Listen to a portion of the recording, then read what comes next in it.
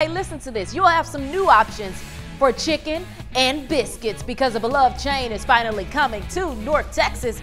We're talking about Bojangles. The company plans to open 15 restaurants in the DFW area. The first will open, oh, look at the biscuits, early next year.